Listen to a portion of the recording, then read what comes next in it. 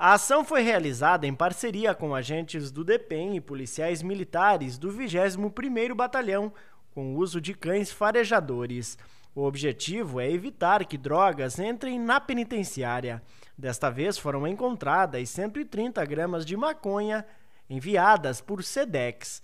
A droga, dividida em várias porções, estava condicionada em tabletes de chocolate para ludibriar a fiscalização.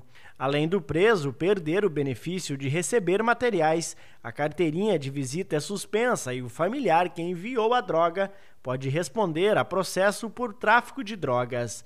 O preso queria receber foi encaminhado para o conselho disciplinar, podendo perder outros benefícios, caso seja considerado culpado.